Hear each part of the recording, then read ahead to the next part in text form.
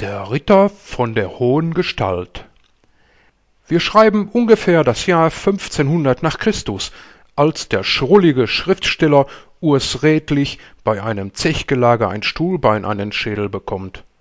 Als er später wieder zu sich kommt, glaubt er ein edler Ritter und Beschützer der Schwachen und Redlichen im Kampf gegen die Unechten zu sein. Seitdem schwirren seine Gedanken so unstet umher wie ein auffliegender Insektenschwarm. In seiner Verwirrung versprach er einem Schweinehirten eine hohe Belohnung dafür, wenn dieser ihm als Knappe auf dem Kreuzzug gegen die Unechten begleiten würde. Der Schweinehirte Bet Pritt, der nicht überaus intelligent ist, hatte seine geliebten Schweine noch nie verlassen. Da er aber mit diesem Unternehmen seine Kasse auffrischen konnte, entschließt er sich dazu, dem Begehren des fremden Ritters nachzugeben und diesem als Diener zu folgen.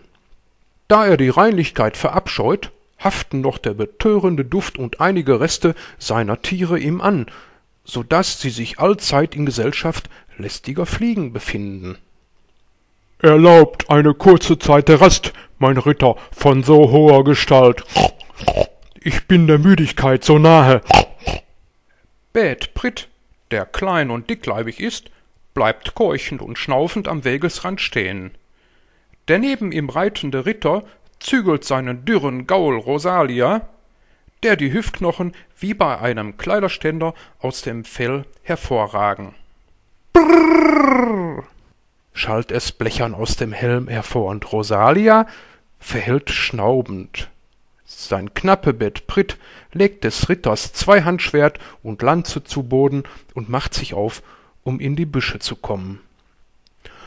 So verharrt der Ritter und wartet auf seinen Diener, bis dieser sich wieder aus den Büschen schlägt, denn ohne seine Hilfe war es ihm nicht möglich, vom Pferd zu steigen, denn die schwere und unbewegliche Rüstung behinderten ihn dabei.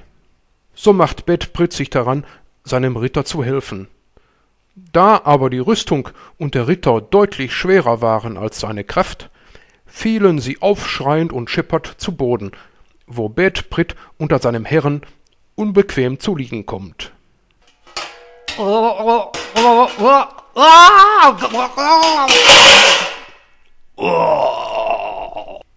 Bitte, Ritter von hoher Gestalt, bewegt euch etwas zur Seite, so wäre ich in der erfreulichen Lage, aufzustehen, stöhnt der unter ihm liegende Knappe. Sein Herr stößt ein Grunzen aus und schiebt sich von ihm. Verzeiht, Herr, dass ich euch nicht aufzufangen vermochte, aber euer Gewicht war größer als meine Stärke. Entschuldigt er sich bei dem Edelmann. Der Ritter von der hohen Gestalt, der nun wie eine Schildkröte auf dem Rücken liegt, zappelt hilflos mit Armen und Beinen. So mache er doch und helfe mir auf, mein Knappe, ruft er verzweifelt. Auch ich muss einen Augenblick der Rast nutzen, um mich zu erleichtern. Da es dem Knappen so nicht gelingt, seinem Herrn aufzuhelfen, zieht er dessen Eisenschuhe von den Füßen und entfernt die unbeweglichen Beinschienen, dass dieser in der Lederhose zu liegen kommt. Das erfreut seinen Ritter, denn dieser kann sich nun mit dessen Hilfe aufrichten und sich der dringenden Darmentleerung widmen.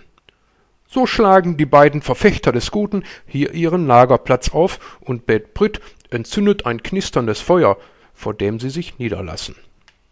Wie der Ritter so dahindämmert, vernimmt er je eine wundervolle, melodiöse Stimme, die ihn umgehend verzückt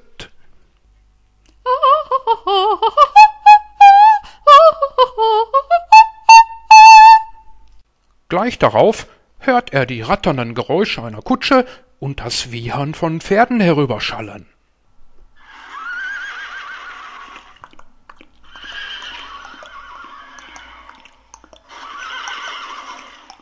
bis diese elfenhafte Singstimme erneut ertönt.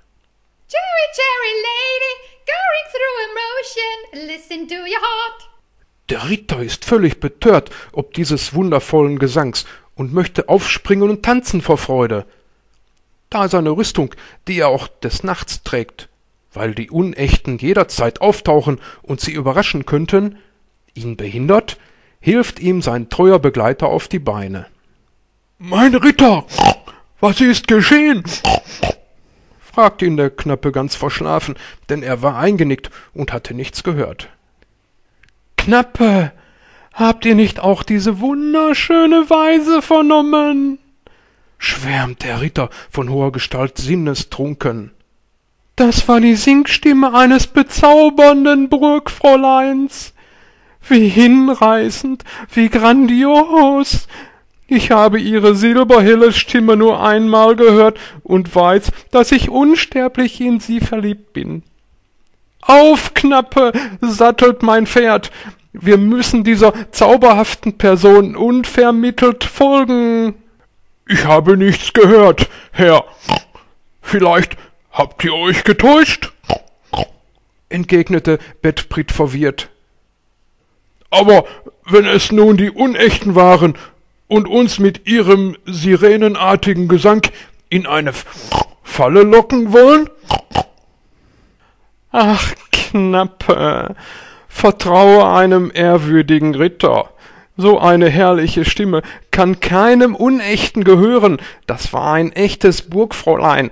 Und ich werde ihr mein Leben widmen, ihr und dem Kreuzzug gegen die Unechten.